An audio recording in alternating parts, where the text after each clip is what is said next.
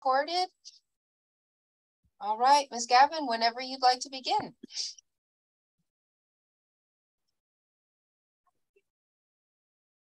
And I don't hear you, Ms. Gavin. I think you're on mute. Hello. Yep, I can hear you now. Well, Happy New Year, everyone. Happy New Year. Uh, and hello, my name is Carol Gavin, and I will be leading the meeting today. I'm excited to do that. A reminder that this meeting is through Zoom, and there may be members of the commission or members of the public who are joining us through audio only. We'll continue to follow a specific format to ensure everyone is listening can have can follow along.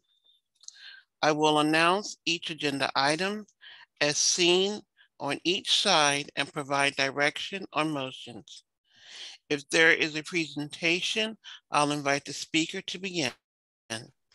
Afterwards, commissioners can ask questions, can ask any technical questions that require clarification, but we must allow for public comment before any discussion by commissioners can begin. Call to order. The Senior Citizen Commission meeting for Thursday, January 12th is called to order at 2.30 p.m. I will now begin roll call as I read each commissioner's name. Please respond with present. Leani, um, well, I'm not going to mess the uh, last name up. I'm Uh, are you here, I'm Leah? present. Yes. Hi. All right. Hi, Elizabeth Lansky. Uh, Elizabeth Losensky, present. Lisinski. Okay, thank you, Elizabeth. Ron Cole, Present. Lisa Miller, Present. Tom Gerberson, Present. Jim Daniel. Present. Um, we welcome our new alternate commissioner, Thomas Hoeber, Present. and myself, Carol Gavin. We have a full panel today. Um, approval of the agenda. Will a commissioner make a motion to approve the agenda? Please state your name. Jim Daniel, I, I move approval of the agenda. A second. Elizabeth Second. Losensky, oh, go ahead. I, So Elizabeth, are you the second? I, I can be, but somebody else spoke up, so whichever. Who, who was that? Was that you, Ron? I second it. Yes, Ron Cole. Okay. So Ron Cole will second. I will now ask each commissioner to vote yes or no. Leilani, Yes. Elizabeth, Yes. Ron, Yes. Lisa, Yes. Tom, Yes. Oh, I don't vote. So, oh, that Tom. And we have two Toms. E- either one, absolutely, yes. Tom Gerberson, Jim, Yes. and And my, yes, You are correct, Tom, that because you're an alternate and that we have a full house today, you don't vote. So thank Right, you. got it. Got it. okay. And I also approved the agenda. Um, brief announcement. Welcome to our new council. Um, Commissioner Bapu Vaitla, would you like to share a little about yourself?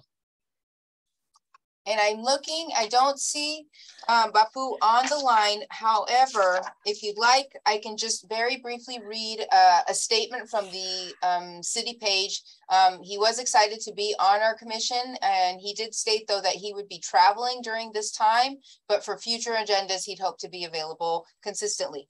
And so he was elected to the Davis City Council November 2022. And um, excuse me, I don't know how to pronounce, um, if it's Bapu Vaitla or Vaitla, but we will find out from him hopefully next month. Um, he works on issues of gender inequality with Data 2X, an initiative housed in the United Nations Foundation. His core interest is the relationship between social cooperation and the well-being of children. He studies why people decide to work together or not for mutual benefit and the effects of these decisions on public policy, political movements, and ultimately the lives of children and youth. He was born in India, grew up in California. He holds a BA in Nature and Culture and an MS in International Agricultural Development from UC Davis, as well as a PhD in International Relations Political Economy from Tufts University.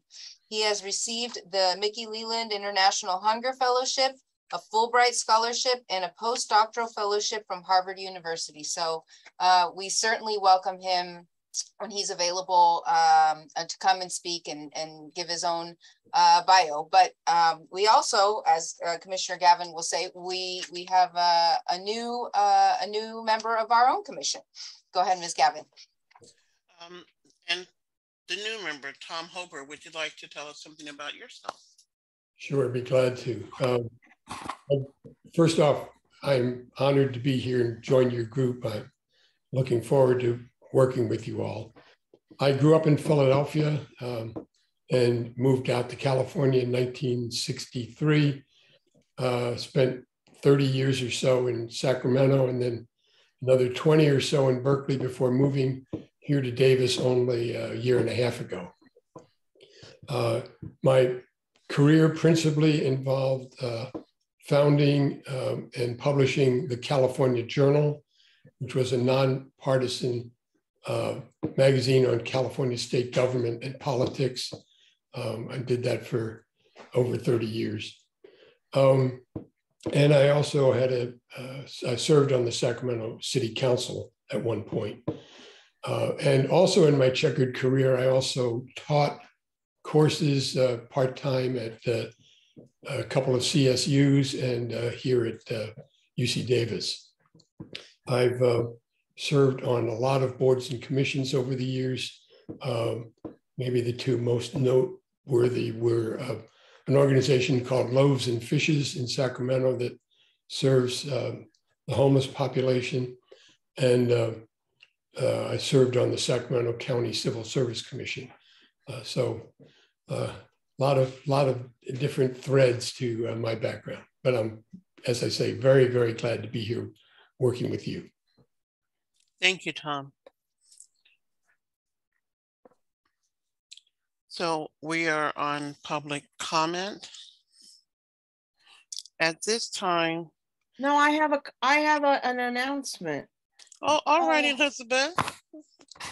I didn't see your hand. That's all right. Uh, I just want to announce that uh, next Thursday, January 19th at two o'clock, we are having at Rancho Yolo, we are having a speaker uh, Kathleen Devlin Shevlin from the Society for the Blind will be talking about low vision uh, impairment, and she'll be bringing some devices that might be useful to people.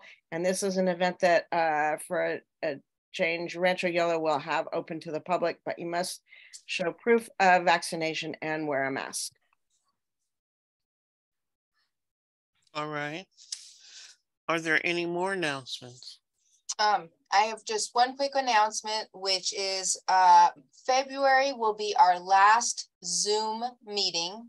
We will resume in-person meetings in March. And those will be at our council chambers, which is where the city council members meet. And still the same schedule, every second Thursday at 2.30 p.m., but we will be in person beginning in March. And will masks be required or not? For all other city uh, locations, they are encouraged, but not required.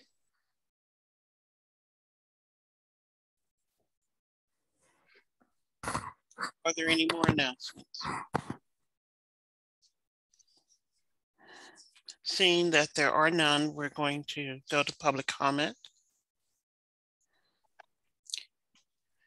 At this time, any member of the public may address the commission on matters which are not listed on this agenda or, or listed on the consent calendar. Speakers will be limited to no more than three minutes. Speakers will be asked to state their name for the record. We do not have, do we have anyone for public comment? You do have one hand raised from Francesca Wright. Uh, Francesca? Hello, hello, staff and commissioners. Um, and it's always exciting when we can meet face to face, but I would just like to register that the option of making meetings available via Zoom um, makes it available for people who, for a myriad of reasons, are not able to attend.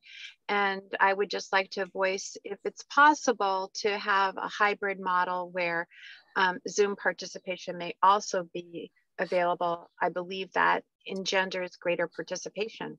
Thanks so much. Thank you, Francesca.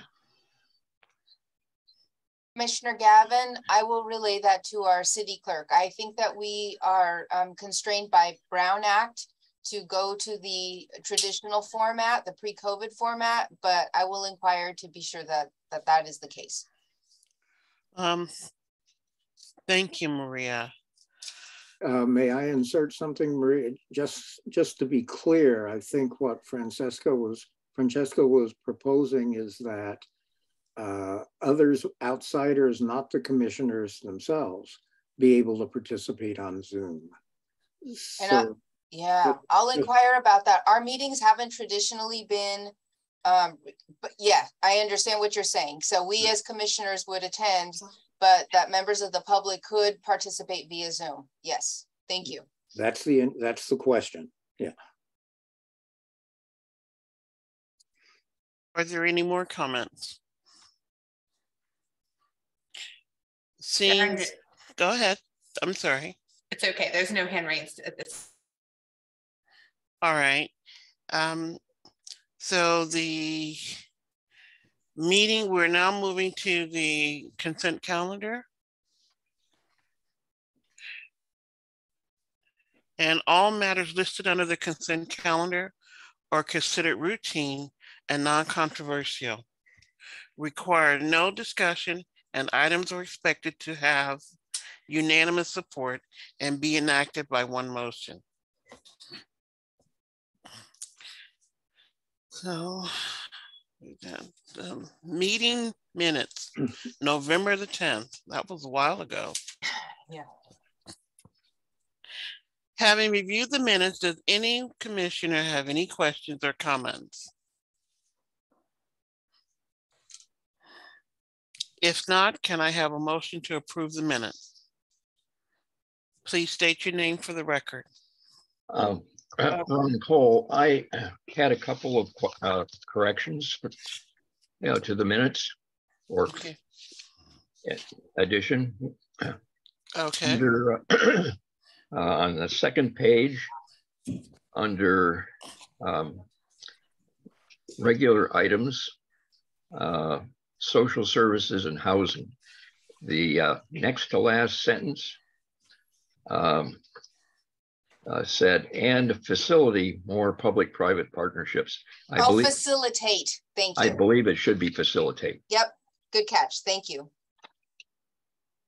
The uh, second correction is under uh, B of that same uh, item. Discussion of rotation chair position. And I believe instead of Commissioner Cole, it should be Commissioner um, Daniel, Oh, I'm sorry. who Yeah, was very, who was very kindly stepped up to do something. I guess I'm not that kind, but uh, I think, I think If that you if you'd like to do it, Rob. no, no, that's what I, that's why I'm saying, I was going to, I was going to compliment you for stepping up. I Appreciate that. Jim, we tried, but it didn't work. Thanks, Maria. Thank you for that. All right. So now do we have uh, an amendment to accept the changes made to the minutes? I'll, I'll move to, oh, sorry, Elizabeth, everyone keeps jumping in over you. No, go ahead. Go ahead, Tom. Okay. Uh, I'll move to accept the minutes with the modifications noted by Ron. Do I have a second? I second. Elizabeth Lasensky. All right, thank you. Now I'm going to ask each member to state whether or not they approve. Leilani, Yes. Elizabeth, Yes. Ron, Yes. Lisa, Yes. Tom Gerbison, Yes. Jim, Yes. and I approve. Okay. Okay, that passes, then we will go to, um, well, we did have, we're on six. All right, so we're going to go to transportation resources. And um, we're going to have a presentation by YOLO Bus, I believe.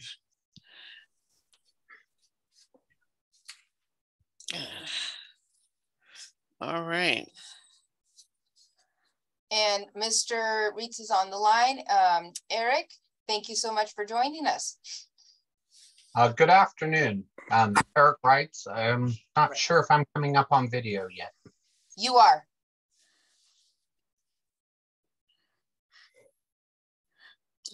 You're Oh, on except you, except you've muted yourself. There it is. Now you're good. Too many controls on these things. So, um, good afternoon. Uh, Eric Reitz with uh, Yolo County Transportation District. Um, we are uh, the agency that oversees uh, transportation services for Yolo County. Um, we work in tandem with Unitrans and Davis Community Transit to provide uh, transit service within um, the city of Davis and um, for uh, uh, inner city trips outside of Davis. Um, within the city of Davis, we provide inner city route uh, 42A and 42B, um, which provide uh, Davis with access to uh, the city of Woodland, uh, Sacramento International Airport, um, West Sacramento, and downtown Sacramento. Um, besides the, the fixed route service, we also um, provide the inner city service uh, for paratransit service, um, taking people from the city of Davis um, to various locations, both within um, Yolo County and within um, Sacramento County. I was going to keep this kind of short and, and see what kind of questions were out there um, about the transit service that's available um, to members of uh, the Davis community.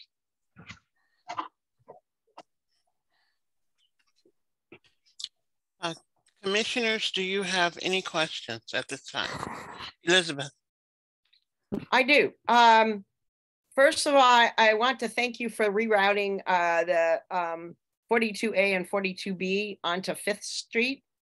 Um, I live in Rancho Yolo, and and that is a great change for us. It it makes those buses very accessible. Um, however, uh, most of us here are still in pandemic mode, and and taking public transit is um, not high on the priority. But I look forward to uh, having our residents um, use that bus uh, a lot in the future. Um, I do have a question. Was the bus that went from Davis to Winters and then to um, Vacaville, has that been completely done away with?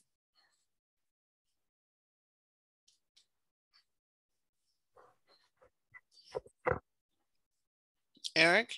You're muted. You're muted. Thank you. I guess I need to stop playing with this so much. So, um, so uh, the service that you're talking about was called the Route 220. Um, it provided that inner city connection. Um, it was um, it was canceled during COVID. Um, it is a service that we will be looking at bringing back. Um, currently, the those areas have uh, a service called microtransit service, which is a curb to curb service um, where people get to call in and request a ride. Um, I know the City of Winters uh, residents are are um, they, they, like that service, um, but I do know there's also a need to provide fixed route service um, between those uh, three cities. Um, can I can I toss in the fact that um, uh, Vacaville is an important stop. Uh, a lot of our residents, well, some of our residents uh, go to Kaiser.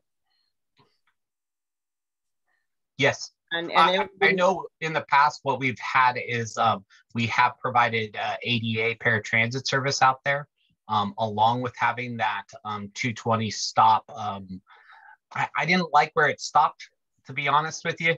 Um, it was on the main drag there, and Kaiser hadn't really provided a, a good access between um, the main road and the, the facility. Um, but we used to stop there with the fixed route too.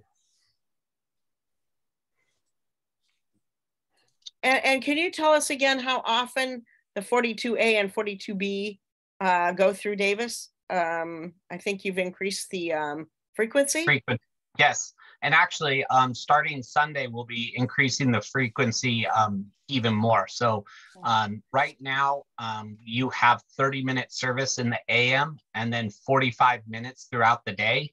Um, starting uh, Sunday, uh, let's see, January 15th, um, the service, we're adding nine additional trips. Um, mostly those additional trips are to provide a 30 minute service um, in the PM uh, peak time. Um, and it also offers uh, additional trips in the evening. Thank you. You're welcome. It looks Dan- like Jim has his hand up. Jim Daniel. Jim, Yeah, uh, just as clarification, I guess, uh, since your presentation was uh, brief, since we are concerned about uh, the senior citizens, uh, many of whom or some of whom have mobility issues, uh, what is the procedure if there is a bus breakdown, an emergency of some sort, for dealing with people on the bus who may have mobility issues? For example, running into a flooded road, or that sort of thing. Uh, well, I, I will tell you, we we just had a big deal with this um, this last uh, weekend. Um, with the, between it was basically Saturday through Monday, we had large amounts of rain. Um, we witnessed some. Um, I, I don't want to call them localized flooding because it seemed a little bit more than localized, but um, flooding throughout the county. Um, and uh, we had routes such as our Route 215 that actually had to be suspended. Um, when we do that, we try to, um, first and foremost, we try not to get in that position where um, people have to be um, taken out of the vehicles um, just because we understand the requirement for providing a safe um, entry and exit location from our buses. Um, and our drivers are, are tending to be trained not to to stop or try to pick up or deboard anybody um, in an area that is not um, wheelchair or or ADA accessible.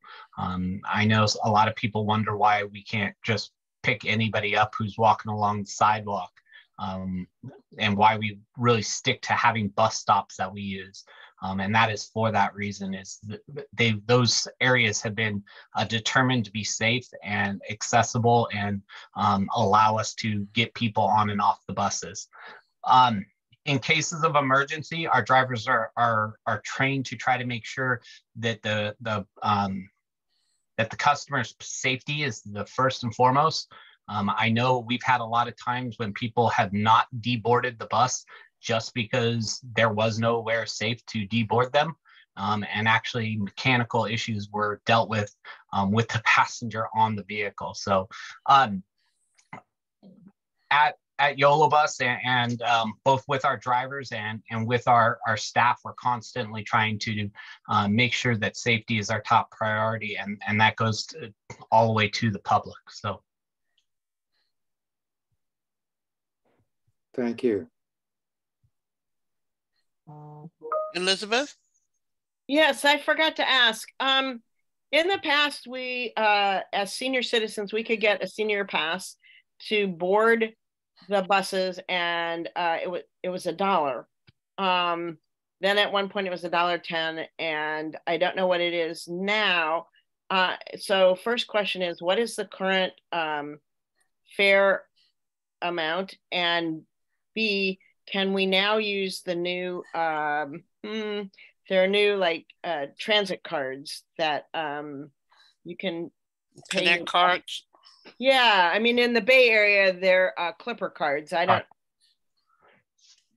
uh, so to start with the answering that question, because you got a lot going on there, Elizabeth. Uh, first of all, yes, we still have a senior um, rate. Um, our fare structure um, is a little complicated, but um, we'll work on making that a little bit better. I, am a big person on things being as simple as possible. So um, right now, um, the there's two different fares for for transit service. One is for local, and one is for inner city. Um, and so the local fare is two dollars, and the inner city fare is two twenty five. Um, however, with that senior ID, um, it is only a dollar. So that that should make that a little bit easier instead of trying to, to have it be the 110. Um, second of all, yes, uh, YOLO Bus does accept the Connect card.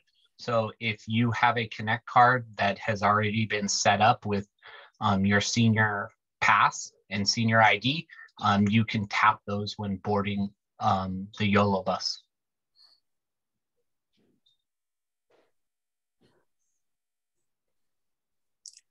Are there any more questions?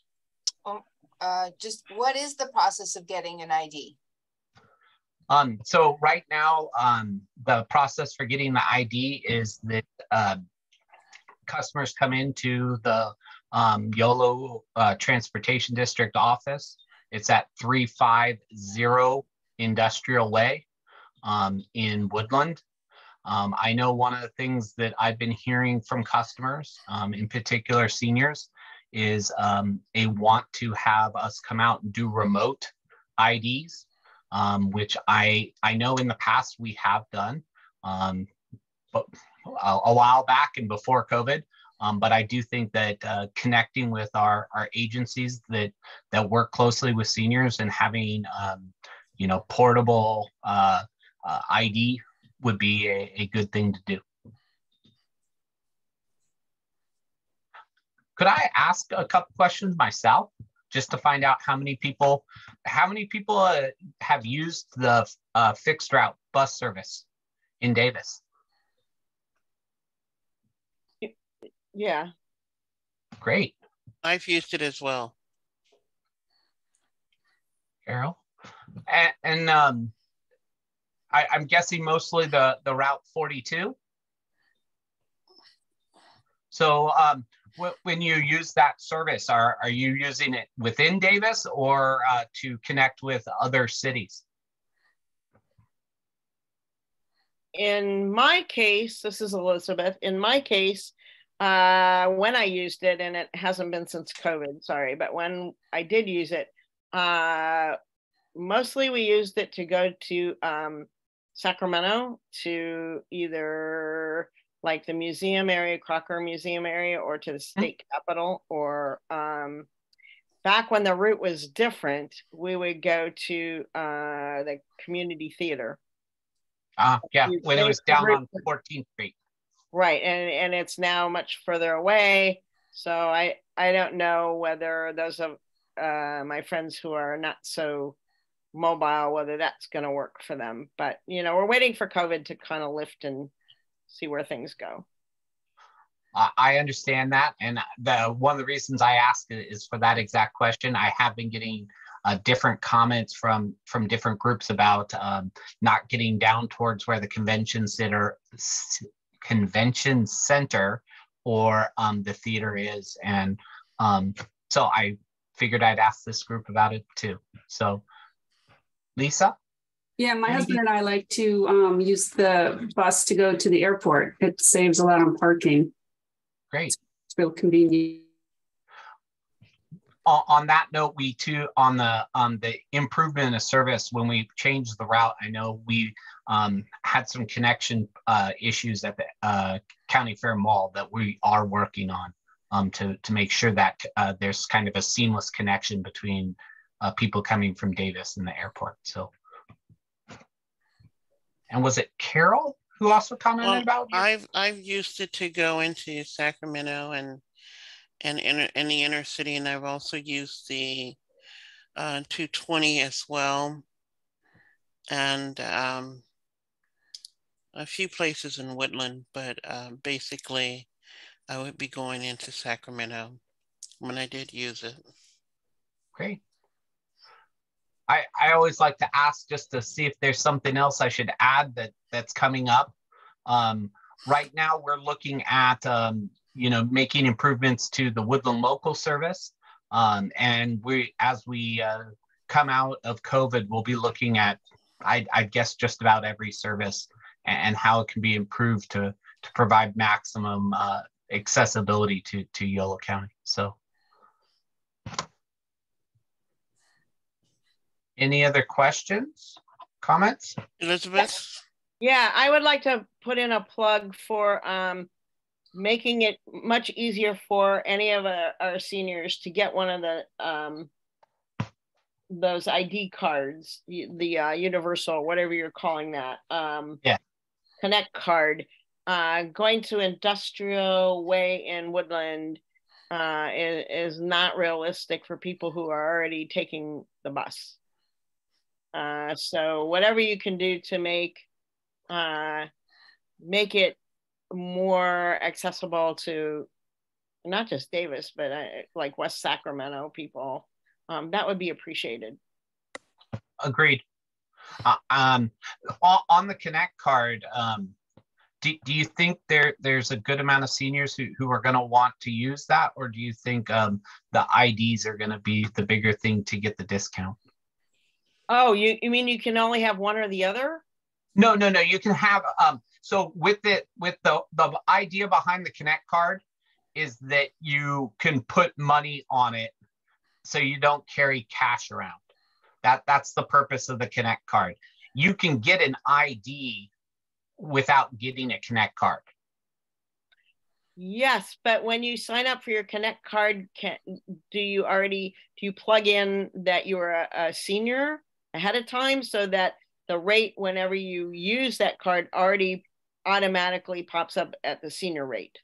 Correct, correct. It, it it's um it's connected in that way when you when you get a Connect card. Yes. So you get the discount with the Connect card. It's just a, a matter of if uh, people are going to want to use that technology or want to pay cash. That's all I'm asking. You know, I I really don't know. Uh, I think we're in a transition with a lot of seniors who are moving uh, to more technology, but that's not everyone. Yeah. Well, and that's why I like to ask. And Eric, how do you get, how does a senior get the Connect card? Um, the same thing would uh, apply with the Connect card as applies with the, the senior ID. So um, you can get a senior ID and we, we print it on the back of, of a regular card or you can get your senior ID and it, it's printed on a Connect card. Um, either way, you would get the discount and it, it's set up to um, to provide that discount. Uh, it, the big thing about a Connect card is how you use it and, and putting uh, funds on it so that um, you don't have to carry the cash. Yeah, I understand that. I, I, I guess I maybe I didn't hear you clearly. Where, how does someone get the Connect card? Do they also go to Industrial Avenue? Yes, yes. Um, 350 Industrial Avenue. We do the Connect cards um, with the IDs. Um, you, they also do it in Sacramento at the Sacramento Regional Transit uh, customer service, but that's that's on R Street and and quite a ways into Sacramento. So um, I'm figuring it's more likely to be Woodland. Um, but one of the things, if we were to do like a mobile um, uh, ID, we could go ahead and include the them as connect cards or um, as just IDs. But at the uh, moment, at the moment, you can't get it just online. Is that, that correct? is correct. Thank you. Leilani? Thank you. Yes, Eric, I'm wondering, it sounds like um, you're going through um, a promising process of getting, doing some updates and to your programming and um, uh, I'm wondering if you've identified, if your agency has identified any ways that different regional cities um, that you serve, that the cities might be able to assist uh, your agency with facilitating and collecting the feedback from potential users that that you might be seeking. Um, I would tell you, I am always big on connecting with community groups. Um, I, I, have to explain that um, I uh, used to work at, at YCTD, uh, probably it's, it's been almost eight years now.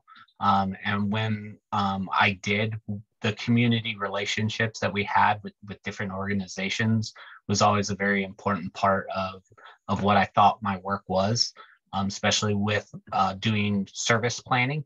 Um, and to give you an idea with the, the Woodland local service, um, we've already connected with a large number of, of different stakeholders. Um, everybody from the Woodland Community College to um, to the Visit Woodland, to the Chamber of Commerce, um, the Lions Club. Um, we've been really reaching out to to the members of the community to try to get feedback, and and I do really believe that that's an important part of uh, making sure that the service is is not just something that we thought up, but uh, something that that is community needed. So. Um, in Davis, I'm, I'm trying to remember a lot of the groups. Uh, we used to work very closely with the uh, both Davis bike clubs. Um, I know we used to have a very great relationship um, with this commission. Um, I was talking with um, Maria about this earlier, uh, about the different members that we worked with. Um, and, and, also in Davis, um, the, the different uh, school boards, because everybody has a different uh, so they're called parent teacher boards, and, or every school has a little bit different name for them. So um, we find a lot of those groups are very connected to the community and, and give us access to, to everybody so that we can hear um, the voices that, that are out there about different kinds of service.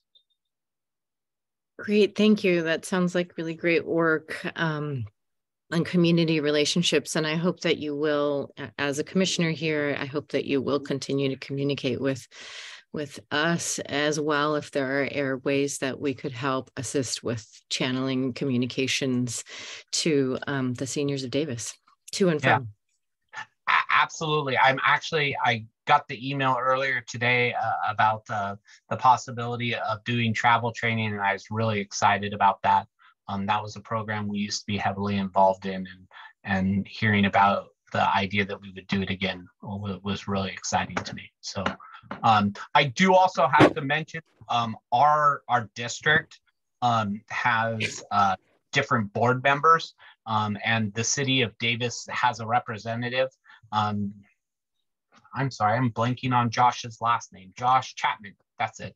Um, just recently is a new board member, um, and we always work very closely with the, uh, the board members too, because um, they have a good connection to the community themselves. Thank you. Jim? Yes, following up on what Leilani was asking about uh, communication with the community, and I was listening to uh, some of the things you said about communities in Davis. I'd encourage you to try to reach out to some of the senior living communities where you may have two or 300 people uh, that might be candidates for using the service. So I'd encourage you to do that.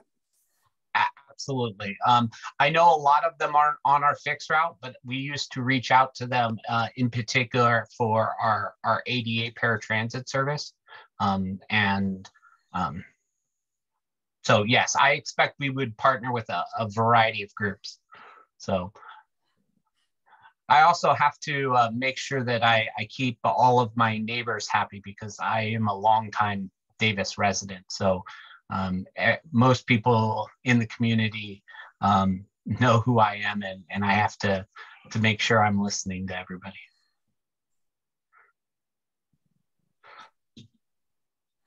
Are there any more questions? Well, I have a few questions. Go for it. Um, in addition to what has been said in regards to um, a trip over on Industrial Avenue, I think that one could be less complicated because that would involve two buses.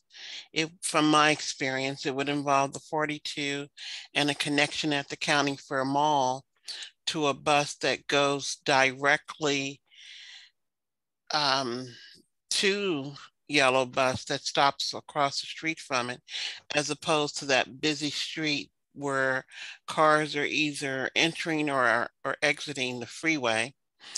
And and they're driving fast. And also uh, from my experience in san francisco they have a procedure well they wrote grant they write grants quite a bit and one of the grants that was written in regards to public transportation allows for seniors and disabled people in the city of San Francisco who get an ID, they have a free pass for unlimited rides. So all seniors who participate or and or disabled people, once they get their ID uh, for the public transportation, it's free from then on. So that might be something that perhaps someone can write a grant for, or maybe we could bring that issue before the board. But I think that would um, uh, be less complicated for the seniors to write. Um, I have other questions, but Elizabeth, I see your hand. Well, I don't want to stop you from from asking your questions. No, go ahead. Um, I just want clarification about we used to get, and I still have my senior bus pass that I got through the senior center. Um, is that no longer going to be valid? I'm not sure which senior pass it would be. Um, is that the one that Unitrans accepts? That is the, we have senior passes, Unitrans passes. But Is that the one? And if I remember, there were two different groups of those. Those were the ones that had like a picture on them and then there was the ones that just were for um, was basically the value to be able to ride the bus. Does it have your picture on it and say senior? You know, it says senior, and I used it before to ride YOLO Bus and Unitrans, uh, and get the the discount. Well, actually, unit transit's free, but uh, YOLO Bus it was a dollar but that's why I'm confused. So that pass is no longer going to be good on YOLO Bus. Is that right? No, no, no. I, I do believe those that's still good on YOLO Bus. I just have to make sure that I'm I'm getting enough information.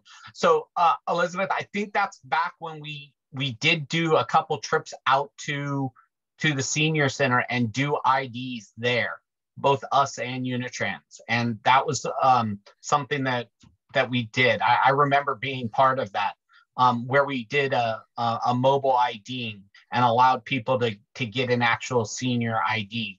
Um, I want to comment about um, it should still be valid. I I question if our drivers will will recognize it, but the, it should still be valid.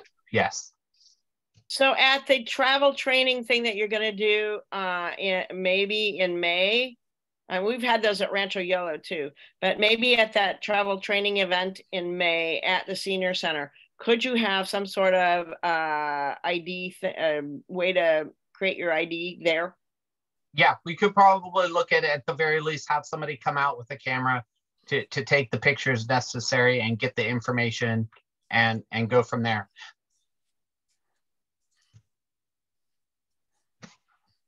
Are there any more questions? Well, I have a few more questions. Um, I wanted to know what is the procedure when there has been um, an interruption in the, in the regular route. I know that um, things can happen or there can be some type of accident and some of the drivers know to go to back roads and go into West Sacramento to go to um, Sacramento. Um, Sacramento has events and things are not posted in time. So, what is the procedure?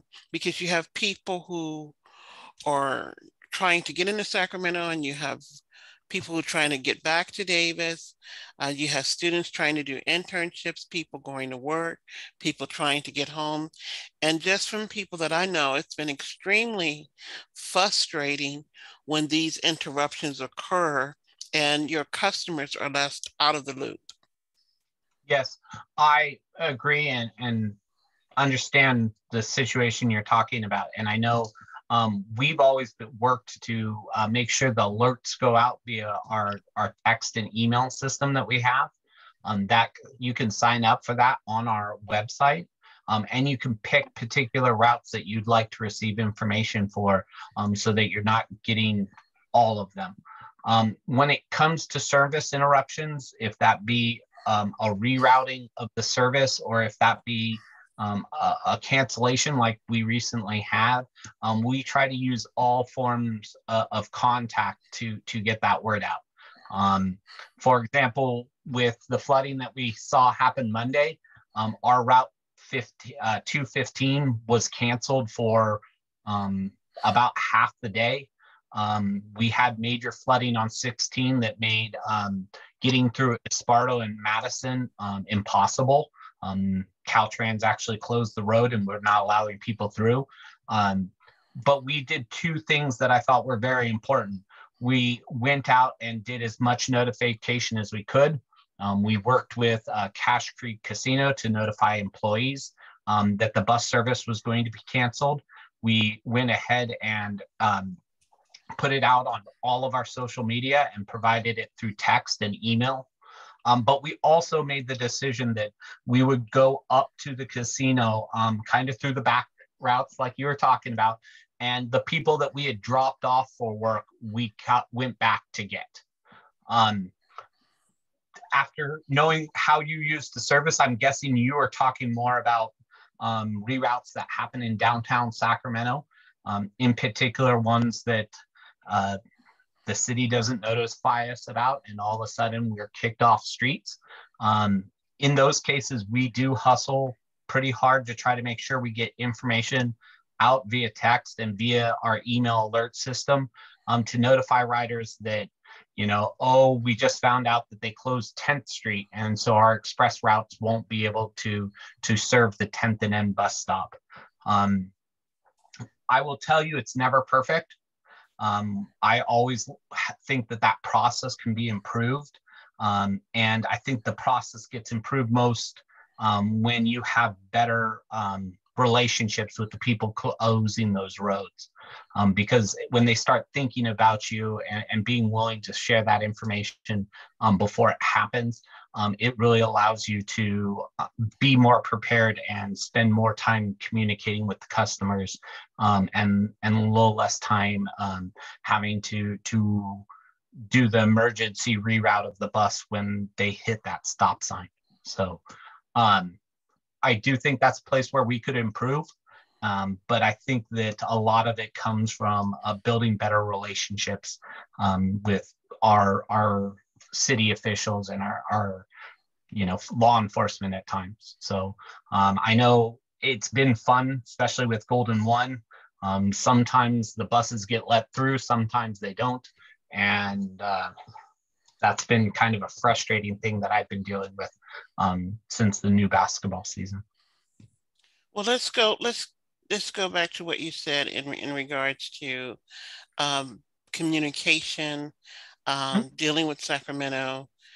Um, I, I have an issue with all of it in the sense that your passengers are trying to reach a particular destination and and the coordination is not as smooth as it can be for given what you just said uh, i having lived in other places don't understand why, for the reasons you've given, there is not a GPS signal at the bus stops that would tell you these things, that would tell you they're in the bus stops in the Bay Area when the next bus is coming, if there's been a delay.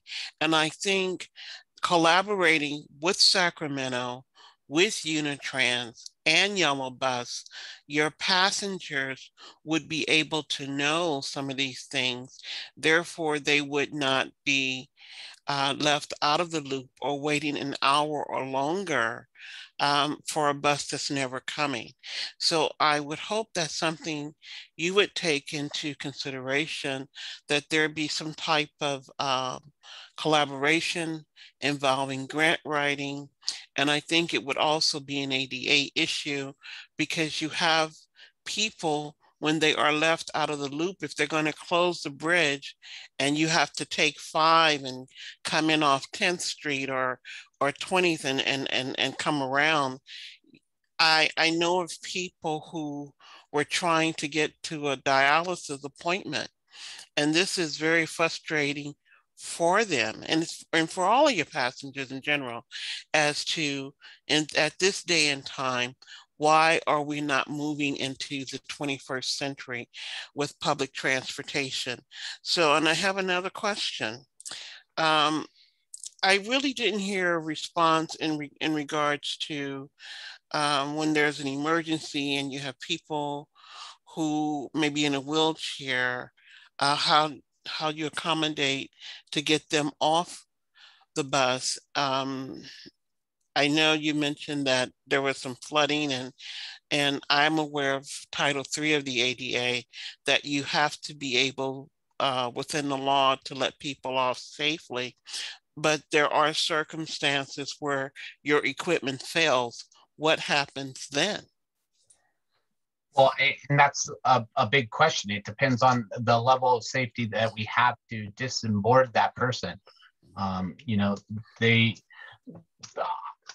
has the way of saying it, safety is up as of the utmost. So if, you know, uh, the bus breaks down and has an issue, you know, on the side of, of a country road, I, I have to, to have them think about the safety of trying to unload somebody in that condition. And, and that's passenger safety comes you know has to come into mind with how that solution happens. Um, you know unloading somebody unsafely is just as bad as as having them have to wait um, within the vehicle um, well in a, a you know if a a wheel goes bad and a tire needs to be changed, you know, that's an emergency that that you know I would think that we would want to keep the passenger on, especially if there's no safe way to get them off. Um, but whenever we're dealing with emergencies like that, the the passenger's safety is, is of the utmost concern to us. So, did did that help to answer that, Carol? No. No. Um, but I, I'm going to move on to another question. Real quickly, before you do, if I could mm -hmm. mention about what you're talking about uh, at the bus stops, they're called real-time uh, passenger information. Um, they're signs that are available to provide information about when the next bus is available. Um, YOLO Bus does use those, and, and we have them throughout Yolo County. Um, downtown Sacramento is a little different because um, we aren't the, the head group in, in, Sacramento County. Sacramento Regional Transit District is. Um, and therefore, um, putting signs like that over in Sacramento is, is difficult. Um, especially since a lot of times they don't have that av information available to their customers. Well, that would come back with uh, with the collaboration and working together to, to resolve that issue. But my next question is, um, how often are the um, seats sanitized on some of the buses? Because I, I've seen people who soiled their clothing and I, and I was curious as to about how often uh, is industrial, industrial equipment used to sanitize the seats on the buses? Uh, I would tell you that we do a, a large amount of cleaning um, on a daily basis, and then usually um, like a, a thorough, thorough cleaning um, weekly. The, the fun part is it's hard to say based on um, how's the way of saying this? Not all of our buses are in service all the time, and therefore um, it's based on when they're in service. And then also, how often uh, or do you check the uh, lift with the MCI buses? Um, the lift for all buses is part of the um, the the check when the drivers go ahead and do their pre-check. They they are cycled as part of the pre-check, and that means that they're done whenever the driver goes to take them out of the yard. And when they're not working, what what happens um, with that when they when they've gone out of the yard with the bus, and for whatever reason the lift is inoperable? Um, well, it shouldn't have left with the it lift being unoperable. Um, I would tell you that it, when that happens, um, accommodation should be made to uh, pick up people who are are not who weren't able to be picked up because the lift being inoperable. And um, my my next to last question is um, why are there no postings on YOLO Bus um, for violations of California Penal Code 640. And this is a citation when people are sitting in seats that are reserved for the disabled that fold up. And if you have someone who enters and they need to be there in a wheelchair, and people refuse to get up. Now on the buses in Sacramento, it tells you it's a violation, but I'm I think that it's a a city ordinance or a county ordinance, but I've never seen them on a YOLO Bus. Um, I know that we used to have um, them posted on the windows that the bus, the seats were available for seniors and for disabled. Um, yes, you have, have those. you again, have those. Okay. But, but, you don't have, but in addition, on, on the RT buses in Sacramento, they also have, it's a violation of California Penal Code 640, meaning that you can be issued a citation if the police is called. But you don't have that on YOLO Bus. So people will say, I'm not getting up. I've paid my fare and you can't make me get up. I have not heard of that being an issue. So I guess that's probably why it hasn't been posted. Oh, um, oh, I, really? I, really? Yes. Really? Do, do you have a, a time and day that you really? saw that occur? Well, I'm I'm just asking why why is that? Well, I mean, how's the way of saying this? I would hope that it wouldn't escalate to the point of needing to call the police and that people would be considerate enough to to give up their seats. And that's why I yeah, I mean yeah. So I mean is it are we having that large of an issue with that?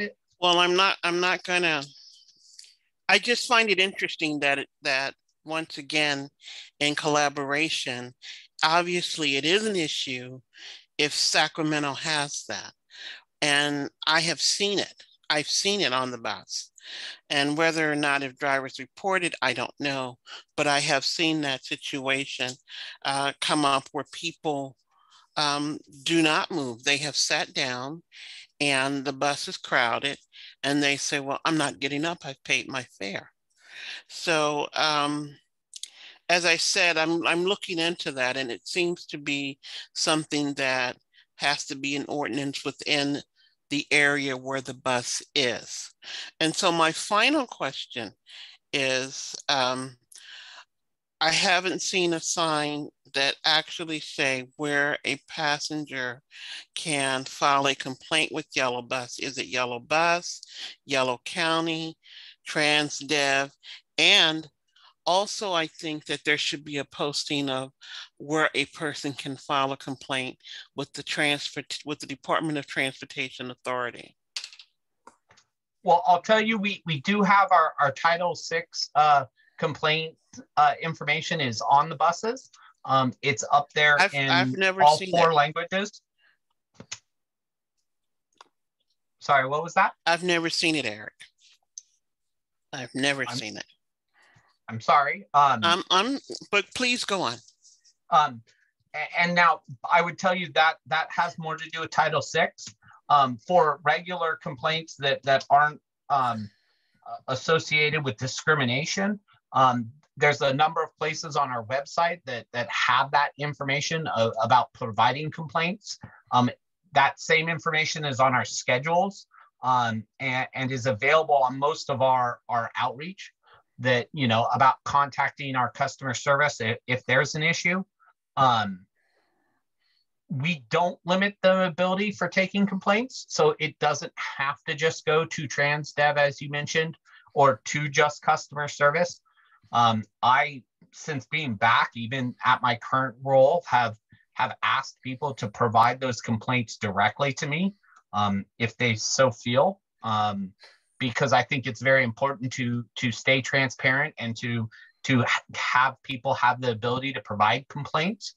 Um, so that that would be my comment on that. Were you hoping to see like a a, a direct phone number or an email that describe that as like a bulkhead on the buses? Well, everybody has Title Six up there, but specifically, I do not see anything about um, where to make a complaint to in regards to YOLO Bus and I've never seen where a person can call um, to file a complaint with the Department of Transportation because they also take complaints against uh, public transportation authorities. So it's it's very very interesting, and sometimes I think it can be very frustrating. And um, we talk about the website and texting and and but there's also a population and or a segment of the population who for whatever reasons do not have access to all of this equipment. So some of this information posted on the bus would be wonderful. I know you mentioned there are things on the schedule, but I've been on the bus where there were no schedules at all. And I just happen to know these things. So I, I, I think the more information that is transparent, it helps everybody. It helps your passengers as well as the company involved. And I'm going to um, leave it at that. Carol, I'd like to say I don't disagree in any way, shape, or form with that comment. Um, to give you an idea, um, I am very much one of those people who wants the transparency, but also wants people to to know that they have somebody available to talk to and, and provide comments to. Um, to let you know, we have a concern going on up at Cache Creek with a number of customers um, about, you know, um, having more service and having a better service. Um, and I basically gave out my phone number and contact information because, you know, I didn't want it to be any more difficult than it needed to be to to get a hold of somebody and, and provide comments. So um, we are on the same page on that. Um, I maybe we do should put a bulkhead on the buses. Um, just make sure the writing's big enough to make sure everybody can see it and, and contact us. Um, I do know it used to be on our fare media. Um, I'm not sure how uh, how many of the buses have that on it, but um, that that's a very important per, uh, piece that everybody be able to uh, to to contact us. So I, I, don't disagree in any way, shape, or form. And I, I will say this, um, and this is my last comment, and mm-hmm. thank you for coming, Eric. It's that um, given how the new transfers are issued, if someone gets a transfer, it has all of the information that a passenger can use if they want to file a complaint. Um, it would tell the company the time, the date, and who the driver was. So that's something that I think is very useful and that can also um, be explained in, in, a, in a flyer or something on the bus if they want to make a, if passengers want to make a complaint. A lot of that information is there on the transfer. You know what? I have to say, Carol, that is a, an, a really awesome idea about uh, letting passengers know that that's a good way to to get the information that that they would need because um, sometimes we do get passengers who who complain who who don't have all the information um, needed to to do things appropriately. So um, I, would like that idea. Um, I try, have to think how we make sure to uh, to to to write that out so that passengers would understand it. But I like that. That that you're absolutely right. It gives them the the bus uh, route number, it gives them the bus number, it gives them the time, and it gives them the date, and, and all that's information that Yes, it that when people call to complain um, is much needed and and is sometimes uh, not within the a customer's ability to answer. So And not necessarily a complaint, it can also be a complimentary driver. Somebody who did something really well, I would like to, to say that as well. Correct. Or just, I mean, maybe they want to report uh, about, you know, it doesn't have to be a bad driver. It doesn't have to be a complaint. It could be, you know, um, hey, I was on the bus and, and this accident happened and I saw it, or, you know, uh, any Mhm. number of things. But you're absolutely right that that transfer would be an excellent way to make sure the customer got the information um, that we would be asking down the road. So, Le- Thank you. Leilani, do you have a question? Um, well, I, I just wanted to reflect um, that I am, I've been finding this conversation extremely valuable. Um, it seems really um, like, like um, a, a really important exchange. And uh, Ms. Carol Gavin, I feel um, like your um, your direct expertise um, as as a user of the public transportation system and um, with the understanding that you have of um, the broader public's needs is it's just it just feels really important to be able to have a moment like this. And eric i'm grateful that you're here.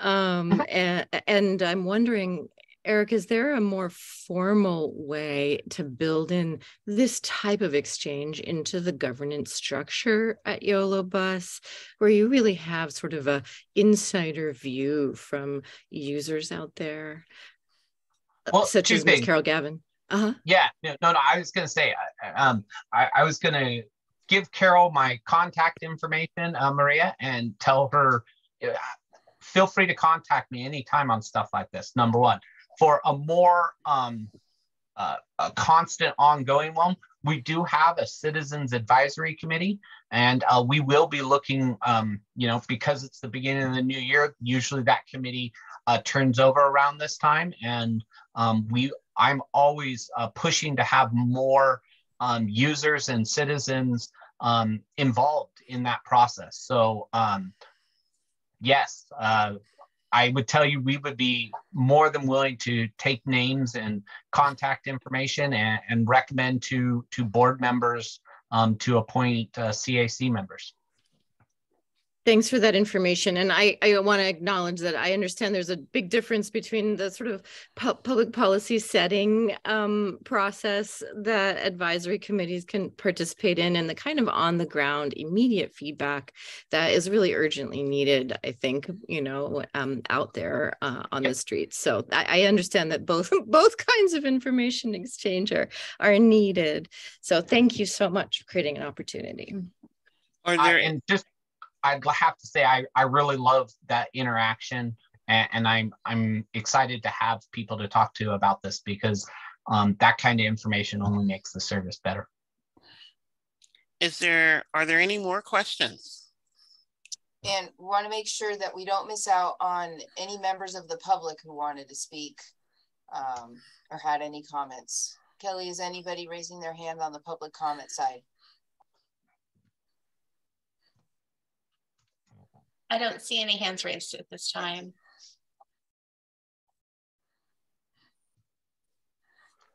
Well, great. Um, just so this commission knows, uh, Maria has my contact information. Um, I've told her feel free to um, distribute it. And um, like I said, I very much enjoy talking with all members uh, of the public and and finding out how we provide a better service. So um, I do look forward to being there at the travel training or, or somebody from the district. And um, I think that working to make it so that we can do IDs out there would be awesome. Well, thank you, Eric. Thank you. Thank you.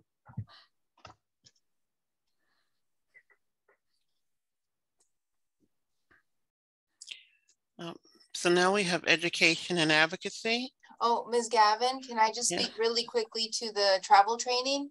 Yeah, Um, so this is an event that we had uh, pre-COVID, and as Elizabeth mentioned, was also at Rancho Yolo, but um, the program consisted of the local paratransit or regional paratransit services. So um, attendees, it was usually like a nine to 11 event. And then it also included a step on board Unitrans and and and Davis Community Transit bus to get a feel for what it feels like, looks like in the bus and um, a, a ride but uh, it was like a 9 to 11 event. We're looking at May the 20th or June the 3rd from 9 to 11. So I'm waiting to hear um, responses back from the partners, and those would be Davis, um, there would be Unitrans, Davis Community Transit, YOLO Bus. We'd also like regional transit. We'd also like a ride share, and we'd also like uh, bicycle um, alternate modes of transportation. What would happen is we have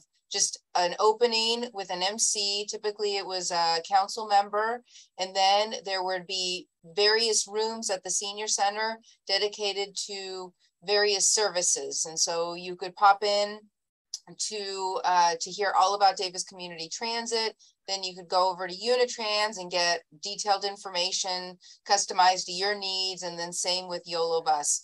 And so uh, we hope to have that scheduled again uh, in May, starting with the senior center and then also looking at satellite sites. And so uh, it was basically an all-in-one transportation resource fair of sorts. And again, we're looking at May the 20th or June the 3rd and commissioners, we'd have one or two volunteer commissioners who would assist with that event. Um, whether it be the sign in or helping us to get the word out. Of course, we have all these social media platforms, our newsletter, and you know just the broader city um, Instagram, Facebook page, and so forth that that we utilize um, as well. And then each of the transportation providers would use their own um, outlets uh, for distributing information, and we'd send it out to all of the um, senior um, senior communities um, and and even broader than that because even though the, the focus was in May older Americans for older adults it's really frankly for all ages and all abilities so um, just uh, I'll keep you posted on that um, as the the date and time and the participants are finalized. Thank you Maria. So now uh, we're at, at education and advocacy. And we're going to have an update from Leilani. Thank you, Ms. Carol Gavin. Actually, uh, Ron, uh, Ron Cole will be providing um, the update from the subcommittee today. Thanks, Ron. This, this is really just a brief update of what uh, we've been doing, and uh, there will be a much more comprehensive report uh, for the for the February meeting. Um, the subcommittee is Leilani, Lisa, and myself. Uh, we call the Health Advocacy Committee. Uh, however, our discussion has been much broader scope than that.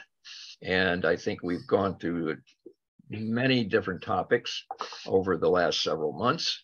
Um, and I think one of the things that came from that was that we felt uh, there needed to be some some way to uh, let more people know about our concerns and about some of the positive things that can can occur for with older people uh, in a different format than just telling the commission. Uh, so the the proposal or the idea that we would would be recommending to the commission is to uh, provide to the community book group um, a book on older people or on aging, uh, since the population over 65 is now the largest segment of the population in, in age. Uh, and the community book reaches many more people, not only in the community, but even beyond the community, because the uh, author or a person is picked about the topic uh, for a Mondavi presentation, uh, lecture. Uh, but the book itself is widely used throughout the community uh, in classes at UCD, but I think it's also a book that many people in the community are aware of and, and read for their own benefit. So that is where we would be going. We are hoping that the commission might uh, lend its support and even perhaps sponsor the idea of presenting a community book candidate. Uh, and that's what we will have more information about uh, and pursue that uh, discussion further at, at the next uh, commission meeting. And I think that's really all I had to say.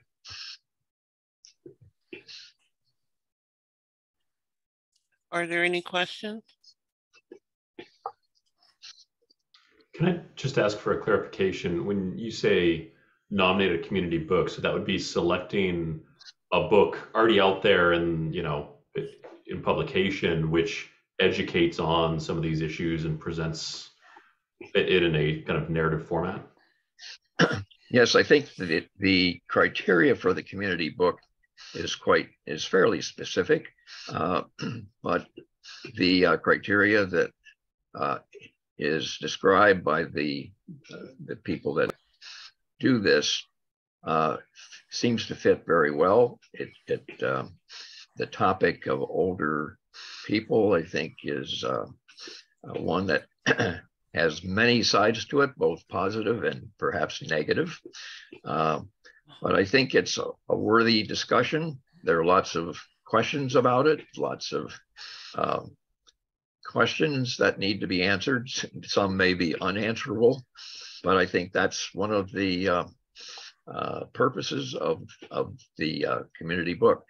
There's no guarantee that our candidate would would be chosen, and then I think we would have to look at some other way to to present this topic you know, to the community.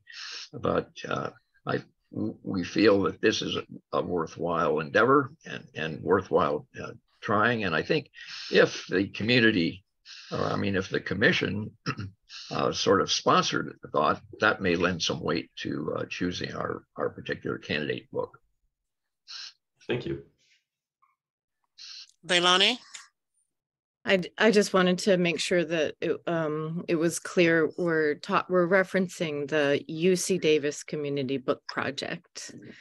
Um, yeah. Are there any more questions? Elizabeth. Uh, yes, so at the next uh, meeting, are you going to propose some topics, some titles, authors and titles, or is that where you're going with this, or how are you going to select, um, or how are we going to select the title? Well, well, I think um, we have uh, looked at several books, several books, and I think uh, uh, as I I have read most of all of them, uh, or know a good bit about them, I think there is one candidate book that I think uh, is probably the most uh, thoughtful and incorporates most of the ideas related to aging, both for both for people who are vulnerable, but also who are resilient and able to participate in many aspects of society. Uh, but I I think our our thinking was that the committee would choose the book. I think there's probably too much reading you know, to accomplish. Uh, and the uh, candidate book has to be submitted sometime this this spring or early summer. So I think to expect people to read all this and come up with a, a choice would be uh, rather rather difficult. So I think we're we're certainly um, willing to make the recommendation we have uh, from the number of titles that we've generated ourselves as a committee, but um, I don't want to preclude anyone from submitting um, a title that you um, you know feel should go on our list or or joining in on a conversation. Um, that's certainly welcome. Uh, I'm sure between all of us, there's a, a fairly large I mm-hmm. think you know the material that will proceed or will be part of the uh, information for the next meeting will include uh, at least a short description of the three particular books that we have have uh, been considering. And then finally, just um, if you are thinking about titles that you feel you, you would really like to put for, forward to, to our committee, um, one aspect of the um, eligibility criteria for the community book project is that the author needs to be alive and available to come and speak at, at, at Davis in the year 2024. Jim?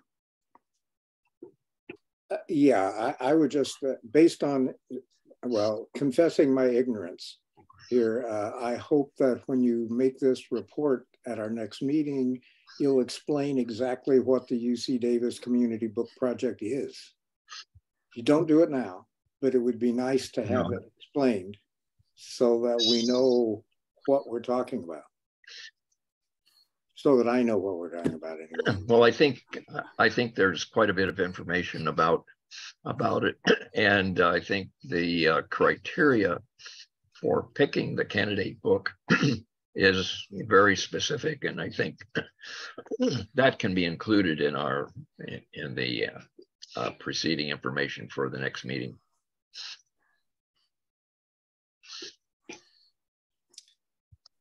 Are there any public comments?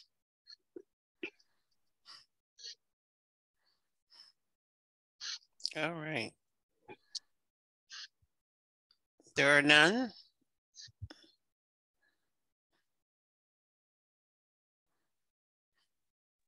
No hands raised at this time. Okay. So our next item will be affordable housing.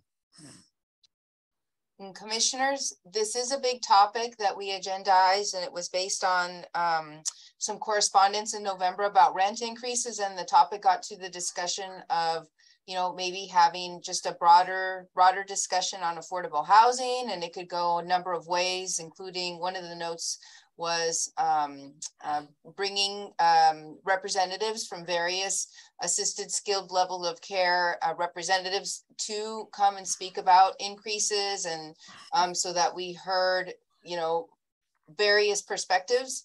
Um, I want to note that it is it is 10 to 4 and I don't know if you want to delve into this topic now or perhaps postpone it for next month um, and appoint the uh, County Commission on Aging and Adult Services representative for the year, but that is up to you. That is all up to you.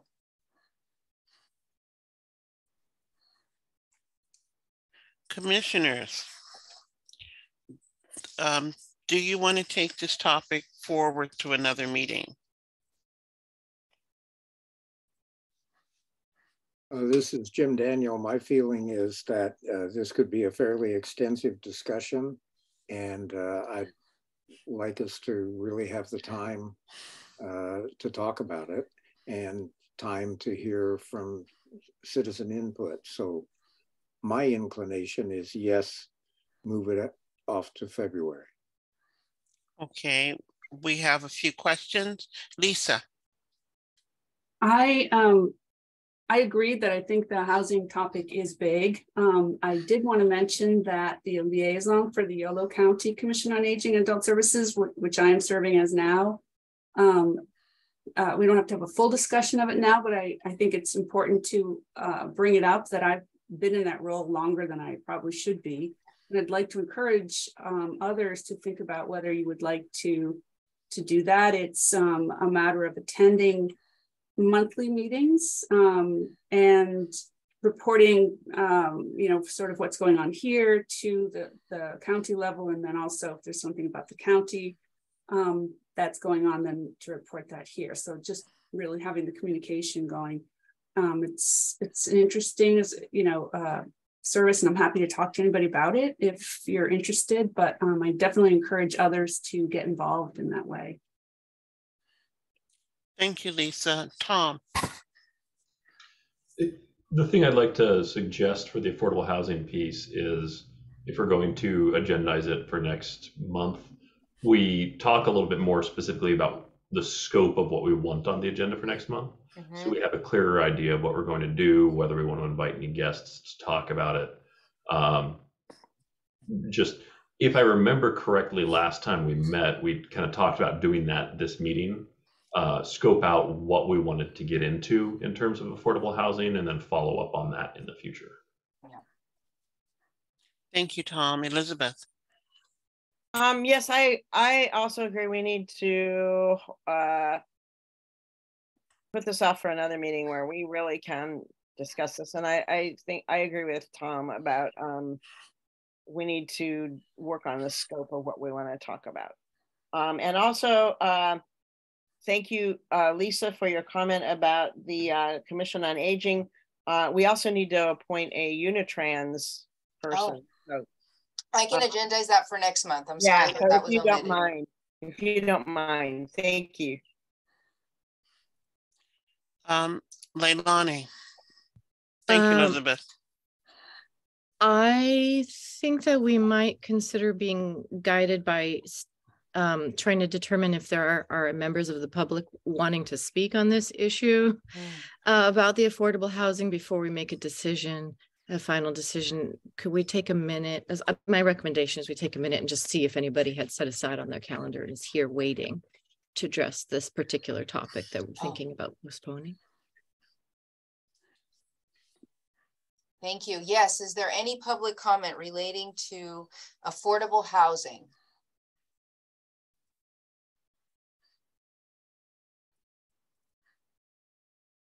Thank you, Leilani, for suggesting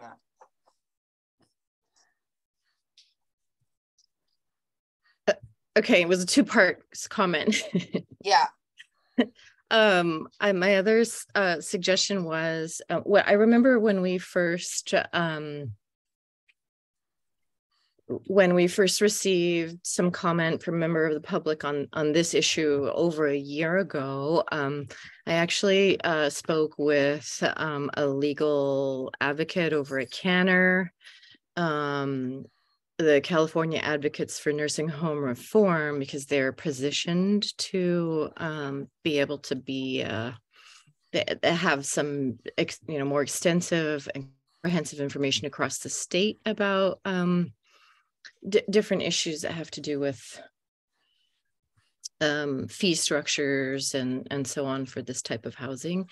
And i thought it was a really useful um, conversation and it gave me a lot of information about the um, about the options that are available from a statewide perspective because i i don't i think that locally uh, at a municipal level i'm not sure that there's like how much influence could be had. Um so one one suggestion i have is is to actually have a person like the person i spoke to come and and, and be available to talk to us um and the public as we address address this. We, we did have that representative through Zoom though, and I think that it's, it would be a wonderful opportunity to have uh, representatives now that we can resume regular in-person meetings in March. I think that'll really help. And another suggestion might be what we also used to do was offsite meetings where we could visit various senior communities and just hear directly from residents, you know, what any concerns or, or suggestions might be. Um, and that's something I can also agendize next month to just look at the schedule of places we would visit to go, you know, talk to people and hear directly from them, um, any perspectives. Uh, so I, I can certainly, um, put that in there as well. Tom, do you have a question? Yeah, I wanted to give a follow-up suggestion to that. Um, first, I think it would be helpful to scope out exactly what we actually want to talk about when it comes to affordable housing. Um, CANHR is a registered loyal lawyer referral agency as well as an advocacy group, um, and it's you know a large percent of its members are lawyers who sue long-term care facilities for a living. Um, and so it's certainly a valuable perspective. There's a strong consumer protection component there, um, but it's a, a somewhat narrow perspective. I think um, an organization like LeadingAge, which is again, it's um, it's a nonprofit organization, essentially an uh, um, what's the word I'm looking for? Like an advocacy agency for the industry. It's sort of the opposite side of the coin of um, CANHR, but they represent um, both affordable housing communities as well as I believe it's everything across the spectrum of senior care. So assisted living, memory care, skilled nursing, CCRCs, and all that sort of stuff. Um, that might be a good source of information. And then I believe either Jim or Ron mentioned at our last meeting in November, I forget the name of the agency, but it's the association that represents residents of CCRCs. Uh, Californ- the uh, California Continuing Care Residents Association. Yes, Yep, and we have that on our, um, yes, um, uh, possible future meetings, so that's, yeah. So, so you're just saying exactly, like, bring these resources that you're bringing up all together in our next meeting, and then once there's a plan in it, then we can activate that plan. Well, e- either that or clarify kind of our scope, because to my mind, affordable housing is a very different component or a very different piece of the sort of housing spectrum Mm. than a lot of the assisted living, skilled nursing, CCRC kind of stuff. Mm. Skilled nursing has a Medi-Cal component, but for assisted living and so on, um, other than the Medi-Cal waiver program, is very much not an affordable setting. Um, and it, it should be, that's a major gap, but eh, you know, I, I just I think it would be helpful to clarify what we actually want to talk about when it comes to affordable housing. Are we looking at what exists in the community, you know, in Davis, what is missing in Davis? Um, do we want to get an update from David Thompson or somebody like that um, on sort of the, the current state of uh, HUD-supported um, affordable housing communities? Just what are we looking for here? Hmm. And I think it would be helpful to tailor the resources to whatever we actually want to discuss.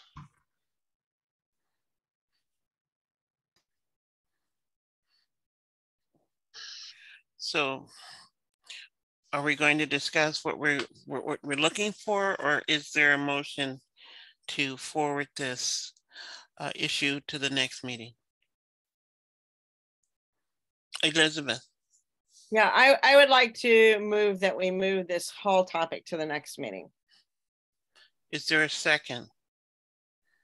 Like, one moment, um, Ron, Are, I think our, I'd like to clarify, are we talking about just senior housing or all age groups?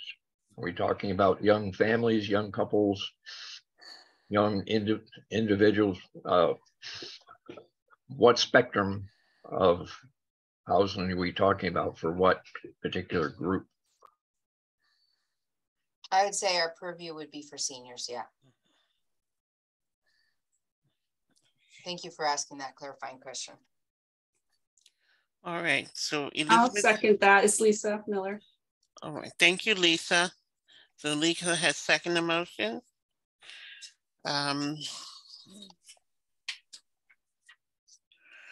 I'm going to call on the members. Um, if they approve Leilani, I'm so sorry. Can you repeat the exact motion? okay. The motion is we are going to forward the affordable housing issue to the February 9th agenda. And we will discuss it then. Okay, without specific, without any plan to make the topic clarified. Um, the topic was clarified um, when Ron asked the question, but we're going to, it's going to pertain to affordable housing for seniors in Davis. Okay, but not specific to um to senior care facilities or that it's going to be at the affordable housing for seniors in every setting. That is my understanding. Is, is there something different that I missed? Okay. Can can I offer a friendly amendment to the motion? Um, That Sure, we, Tom. that we carry forward this agenda item to next month and frame it as a discussion of, or a a framing of our exploration of affordable housing issues and resources going forward. And so the idea is we would sort of scope out next steps on that work plan item next month, but we aren't necessarily trying to line up speakers or that sort of thing. All right. So it's affordable housing and the resources available within the city of Davis. Would that be correct to say? For seniors. For seniors. Thank you, Elizabeth. Affordable housing for seniors in Davis and what resources are available. Okay. So, Jim. Yeah, sorry to complicate things here, but I know uh, when we had the public comment before, someone was talking about what the rate increases were at uh, their particular uh, community. And affordable housing tends to mean a particular kind of how I mean a, a, particular price level, right? I mean it's affordable housing as opposed to more expensive housing. Whereas I think the question that originally brought it up was brought to us was sort of the affordability of housing and what's mm-hmm. happening with the rates uh, to people. So I just hope that we don't end up focused on what I believe is traditionally known as affordable housing, uh, which is uh, lower cost housing compared to some other facilities, for example. Would exploring senior housing as a broader topic and then, or, or, sorry guys. Yeah, I mean, to me, it's the affordability of affordability. senior housing in Davis. Exploration of the affordability of senior housing. Yes. And that would include traditional affordable housing facilities, for example, or uh, opportunities, but also the issue of what kind of price increases people see and so on. So mm. the original question to us from the uh, citizen. Yes.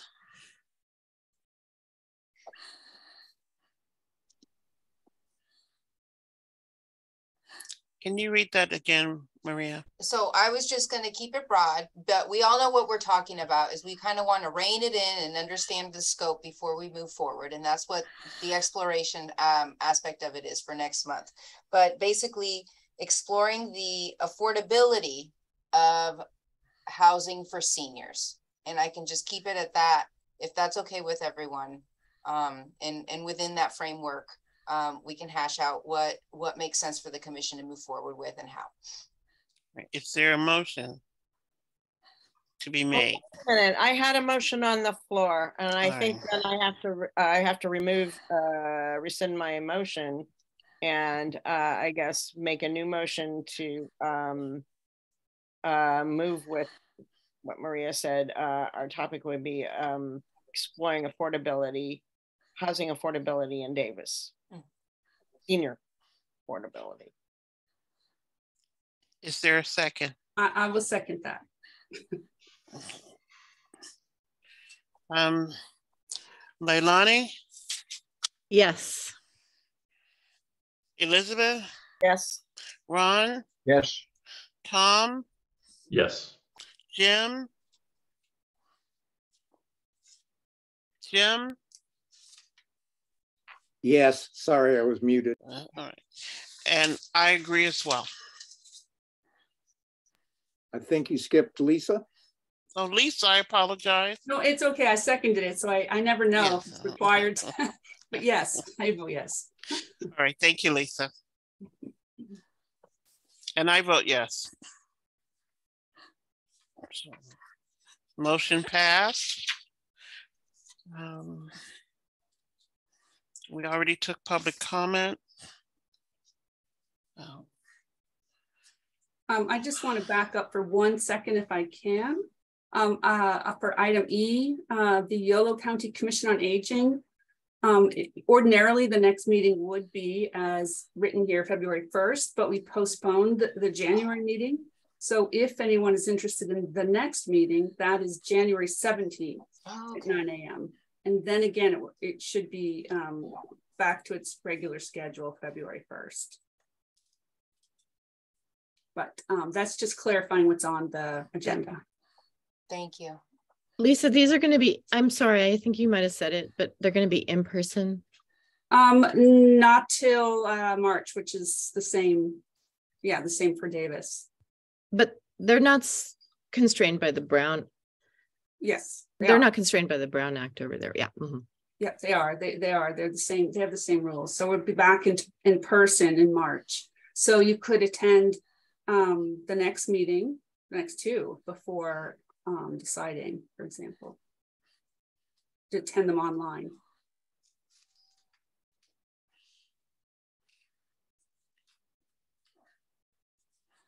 Are there any public comments?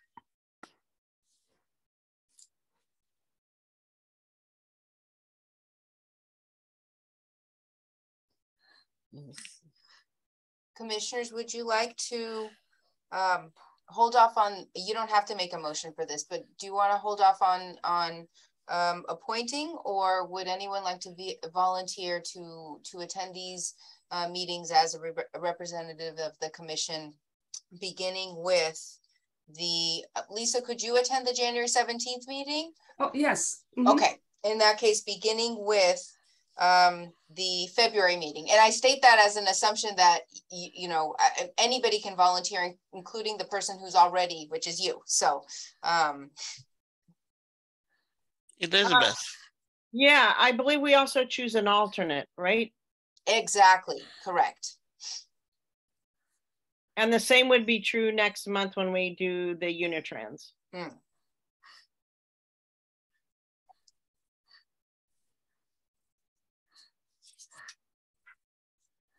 Very good. Would anybody like to volunteer? Or if you're not feel- feeling comfortable doing so and you want to attend the Zoom meeting, we can, um, we can just, uh, have this in Unitrans for next month. It's up to you.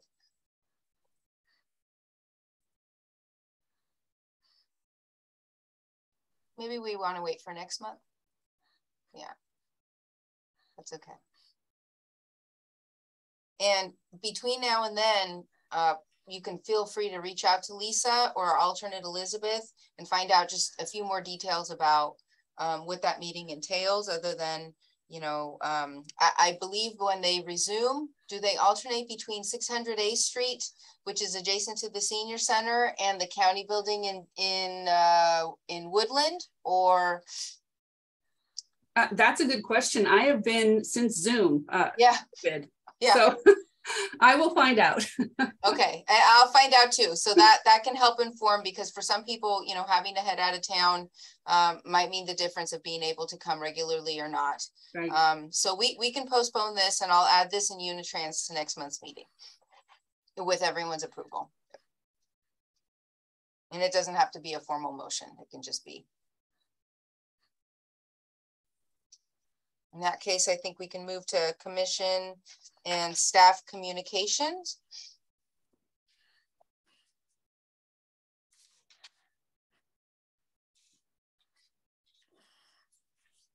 And are there any public comments?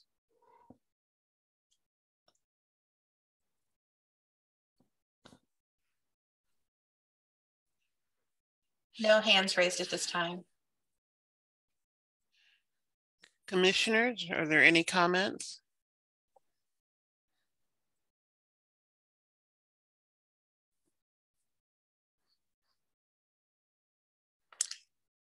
Um, Let's see.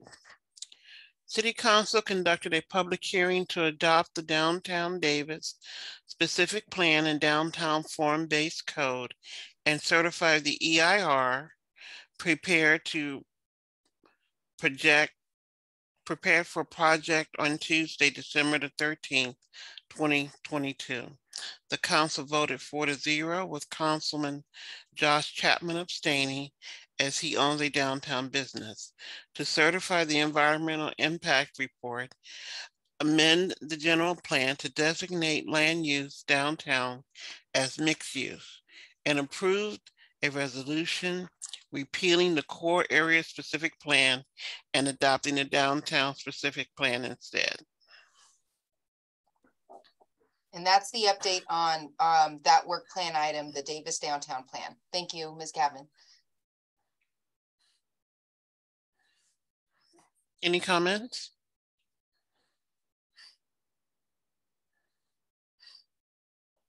I have a comment. It's on uh, disaster preparedness.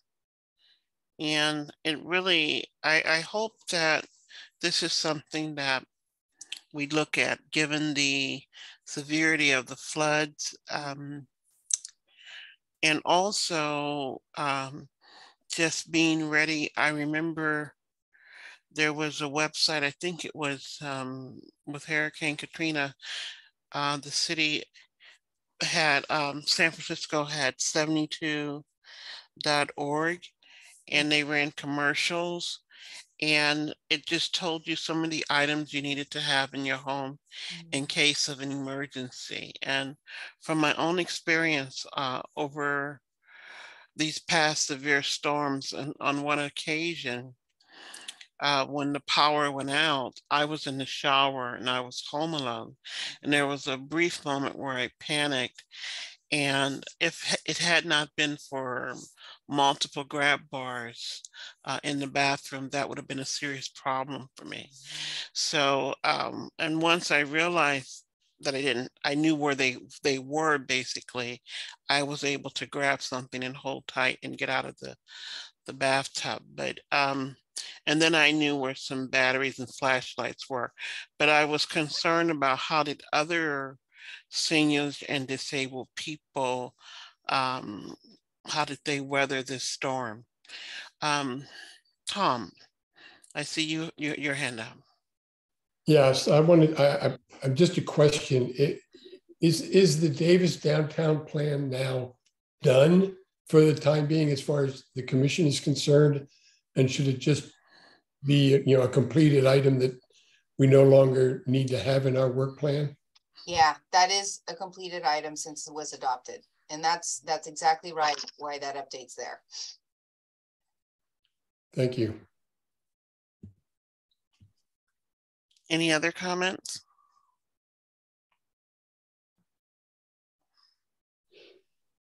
I, I just wanted to mention that the county has a um, emergency preparedness section on their website that they have been um, working on very diligently um, and um, you know try to keep it very active. Um, it's not necessarily for floods or you know, um, and it could be for any emergency, right? The pandemic certainly was one of the things that got it going faster, but also you know fires and whatnot. So I encourage people to take a look at that and. Um, I know that they're very receptive to feedback and additional information. Um, if you have any, that's that's something that um, I or the person the role with as liaison can pass along uh, to to the county.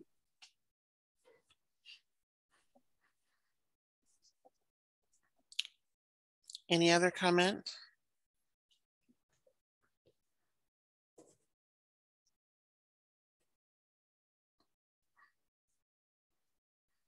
Leilani? I think disaster preparedness is probably is is a huge issue, and I'm I share concerns, um, and I have observed uh, vulnerable members of my communities um, uh, kind of having an outsized disasters having an impact on them uh, with fewer fewer resources available. Um, and I am aware of resources that the county has developed and provided in the form of video and um, checklist modules that are on their website.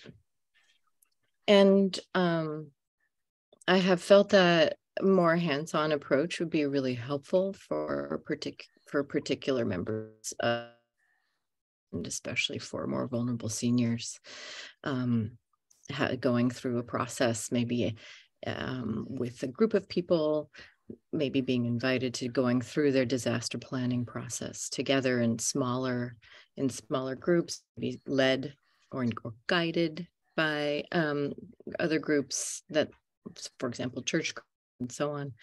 I think that um, even just at a mutual aid level where like neighbors five neighbors checklist together get you know create their boxes together there's something needs to happen i believe about a hand and supported process as opposed to information that people have to very dedicatedly um, work through. Thank you. Elizabeth?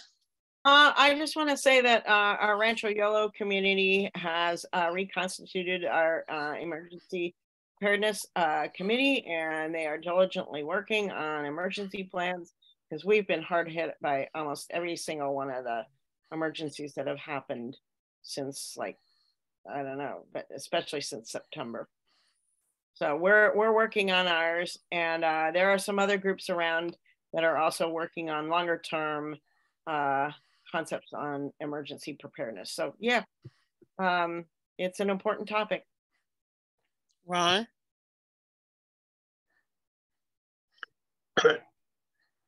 Our community at, at URC has recently raised this, this issue because we've not had any uh,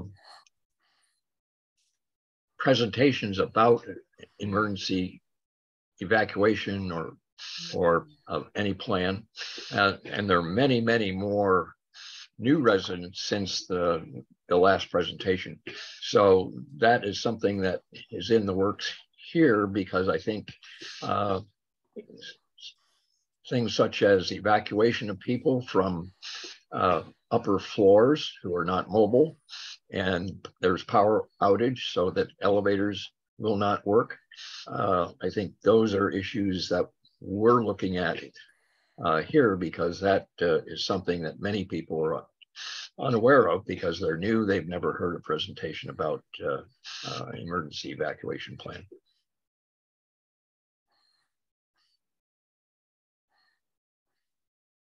Leilani, your hand is still up. Did you did you want to make a comment? So sorry, no. Well, I just wanted to uh, piggyback on something that Leilani said and Ron in terms of presentations. Um, during Hurricane Katrina, I, I went through training in San Francisco. It's called NERT, Neighborhood Emergency Response mm. Team. And there was a lot of things to, that I learned over uh, six weeks. The class was like five hours for a period of six weeks, and it rotated through the entire neighborhood. So you didn't have to travel very far to attend one of the trainings. And what happened was, during the Loma Prieta earthquake, uh, the Marina District had a lot of severe damage in San Francisco. And they discovered, uh, looking back, uh, assessing what happened actually in terms of response with the emergency um, first responders, they were not prepared at all. Mm-hmm. And they under they went and got training in Los Angeles from LAPD and the fire department. And I've actually seen them, having lived in Los Angeles. So I'm so familiar with public transportation.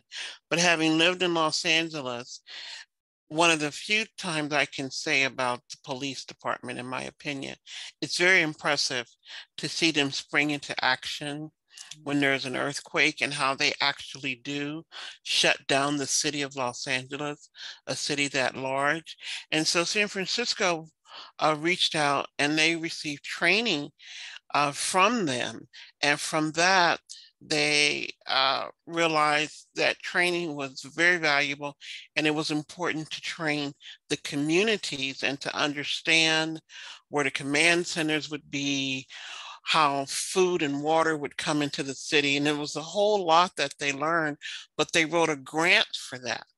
And and as you said, Leilani, I think it is important, and as you said, Ron, that there be a presentation so that people would know what to do, or maybe have a package they have in their home or in the basement.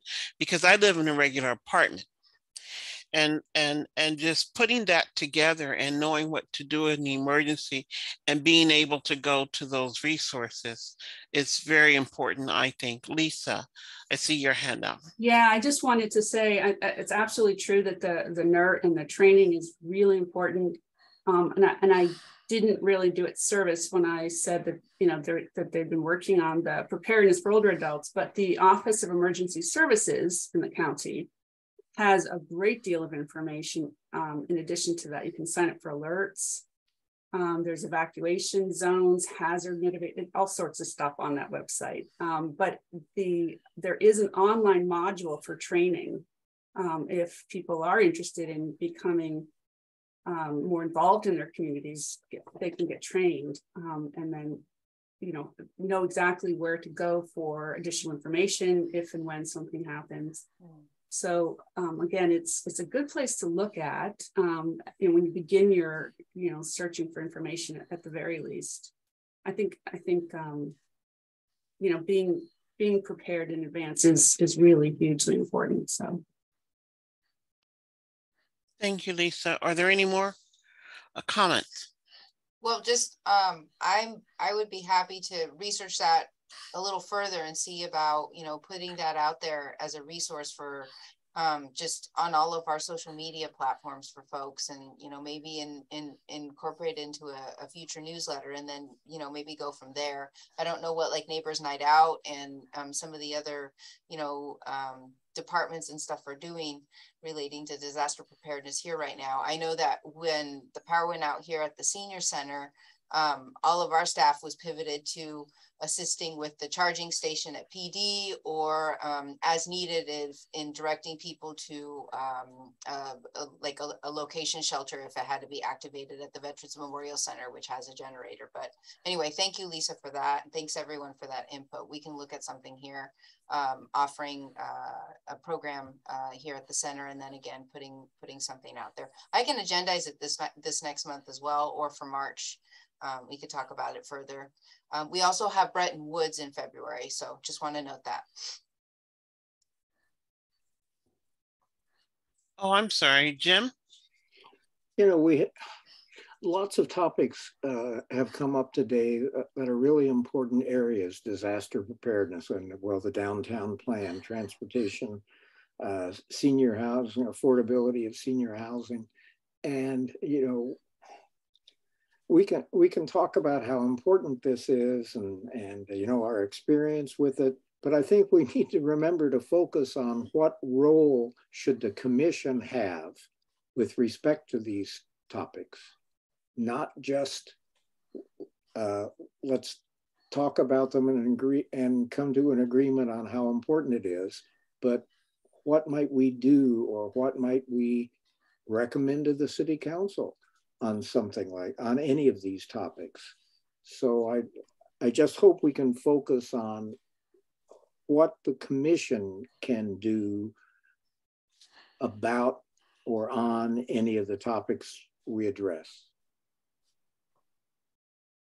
Thank you, Jim. Leilani? Mine was just a really as a related comment um, to to yours, Jim, about about the what to do. Um, I was going to ask you, Maria, are you in a position to research grant um, that um, Ms. Gavin is describing that paid for the NERT training? Oh, I can follow up on that. I think that's probably within the scope of like like PD and fire when we have a CERT team. Um, so I'll have to follow up on that. Mm-hmm. And then thank you so much. And and then I think Jim, speaking to your uh, to your question, I, I think that being able to to phrase some of the observations that we make as a commission, to phrase those um, to the city um, in ways that you know provide create some uh, recommendations. For example, reassessing emergency response system or their emergency shelter system to make ensure that there's adequate shelters that um, that would be uh, emergency uh, blackouts and things like that. Uh, th- that that could be sorts of observations could fairly easily be phrased into direct recommendations, um, for example. Ron.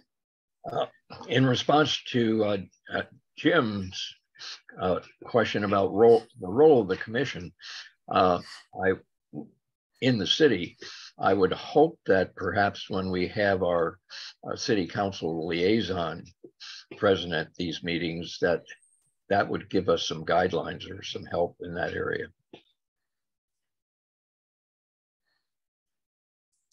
Tom? I I would echo Jim's comment, and I think it would be valuable for any particular item that we're working on to just consider, you know, how are we fulfilling our function of advocating for the the senior community here in Davis uh, to the city council, right? As an advisory group, what, how does each piece that we're working on contribute to betterment of the lives of the seniors in the community? And for any piece, if we're spending a lot of time on it and don't have a takeaway or a recommendation or something like that, I, I do think we're missing an opportunity. So thank you for your comment, Jim. I think that was an excellent point. Are there any more comments?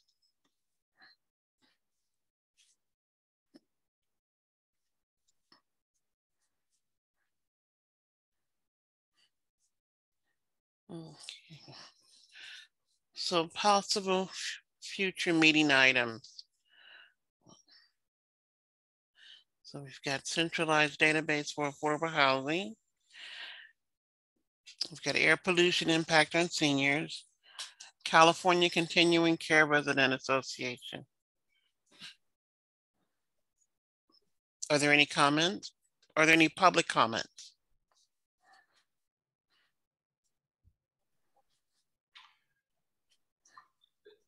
Are there any, Leilani? Um, I would like to recommend that we consider removing the air pollution impact on seniors as a standing future.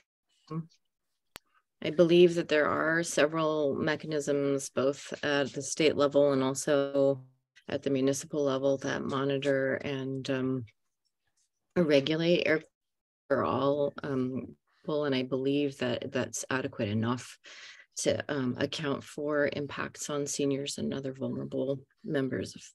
I don't believe that we need to continue um, on our list.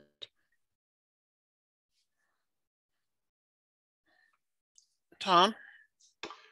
Do I recall correctly that the centralized database piece came up with our guest uh, last meeting, and I'm drawing a blank on her name, but um, Dana Bailey, and on, on a script version, she'll provide updates when available. Yeah. okay. So since there's a, a unit within the city working on that, I would also propose that we drop that one off there and just um, wait to hear updates from staff. Jim? A trivial thing, uh, Maria, the CE in residence for CalCRA should be a TS. It's the, Oh, thank you. it's the People's Association. Thank you. Appreciate that.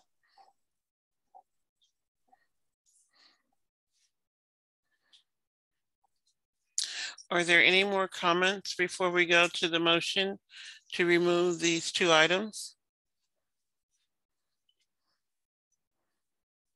Tim, your hand is still up.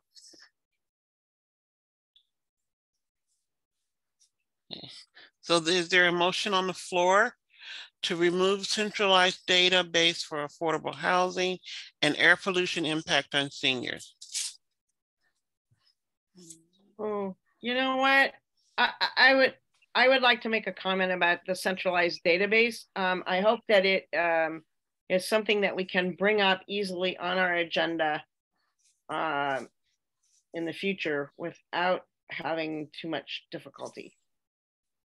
I would not like that, that topic to disappear altogether. Uh, I, uh, along those lines, how do we keep track of things if they do fall off? That, that was my other question. Um, I agree with Elizabeth. I think that one is particularly. That, that, I mean, that, that is a helpful tool for all of us to, to keep it on there. Um, I know that in the circumstance of the central ba- database that Dana did state that as she had an update, that she would come back to us, but I mean, there, there's something to be said about, you know, there's, there's pros and cons for, for keeping things on. I mean, it'll certainly be part of, you know, kind of our, our working work plan. Um, and, uh, but, um, I mean, that, that's up to the commission to, to, to keep it on, to keep it on or not. So are there I can, I mean, I can, I can provide an, um, I, I have an internal list of items. I mean, but for the, I'm sorry, Miss Gavin, I didn't mean to interrupt you. Please go. oh, go ahead, Maria. Oh, I, I was just gonna say, I, I, um, I have kind of in this, this item and, um, and YOLO bus routes are some things that are kind of like on shelved for now, but that I kind of ha- want, and offsite meetings. They're not all necessarily always on this list for upcoming, um, because they're like maybe more future. Um, but I mean, I can make that commitment to you commissioners that, you know, it, this won't fall off, um, even if it's not on this or every single month's agenda. Okay, uh, that makes me feel a bit better, Maria. Um, because this is just a possible future meeting items. It- This is not a commitment.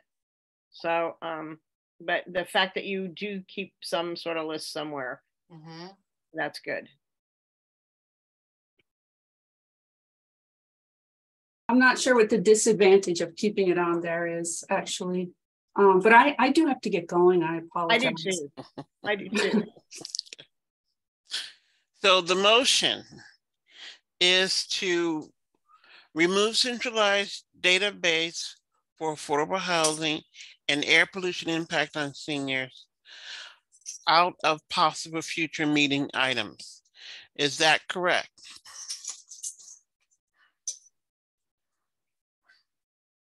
Is there an, is there um, a motion to, to remove these items?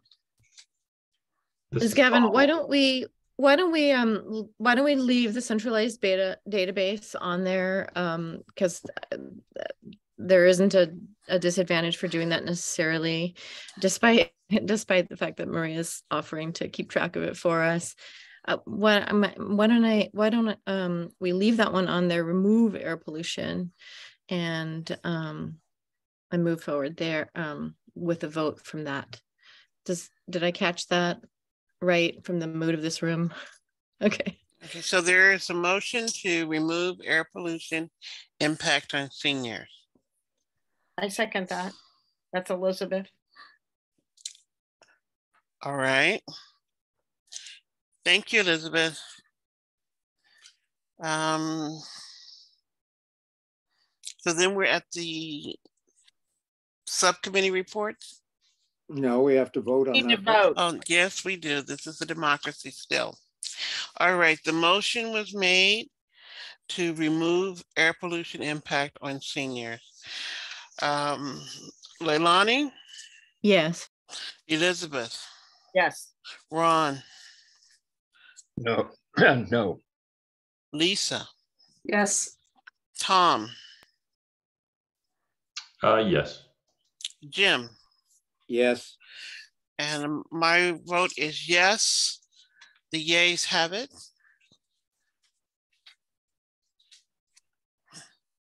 Um, so now the Yolo County Commission on Aging and Adult Services. we um have not had a meeting since I last reported. Um, so there's nothing to report there. Are there any public comments?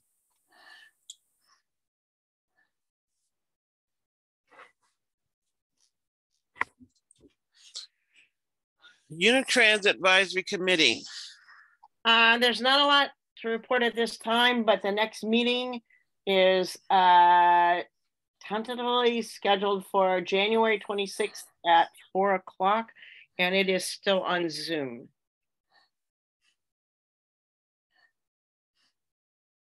All right. Are there any comments from the commissioners?